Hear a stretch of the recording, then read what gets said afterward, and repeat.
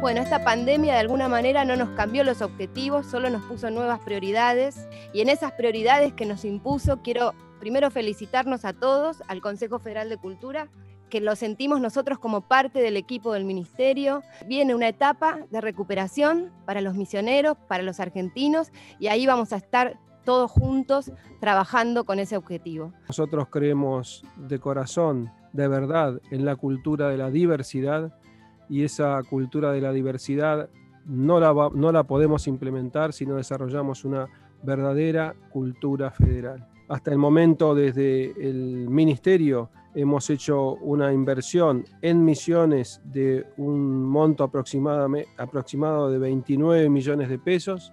De esos 29 millones, 19 ya han sido ejecutados. Eh, más de 960 artistas y trabajadoras y trabajadores de la cultura se han beneficiado de estos fondos y más de 110 espacios allí en Misiones. Y lo que me parece muy importante, Oscar, gobernador querido, es eh, contarles y que trabajamos muy unidos en esto, que por decisión de nuestro presidente lanzamos ahora un nuevo, un nuevo plan.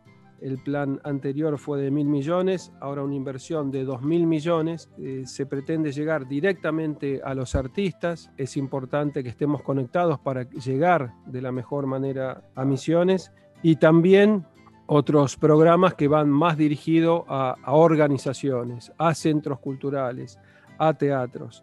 Ahí está el plan Sostener Cultura 2, el plan Podestá del INT, que va dirigido directamente al sector del teatro, con la CONAVIP para todo el tema de, bibliotecas populares y un fondo muy importante como es el Fondo Desarrollar. Pero ahora inmediatamente viene una etapa que es de reconstrucción y donde hay palabras que son importantísimas.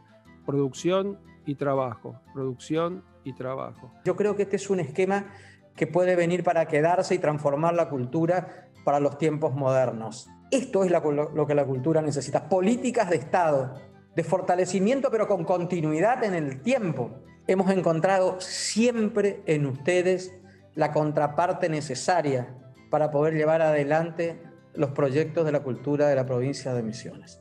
La cultura está viviendo un momento inédito. Jamás vino tanta plata de nación a la provincia 29 millones de pesos.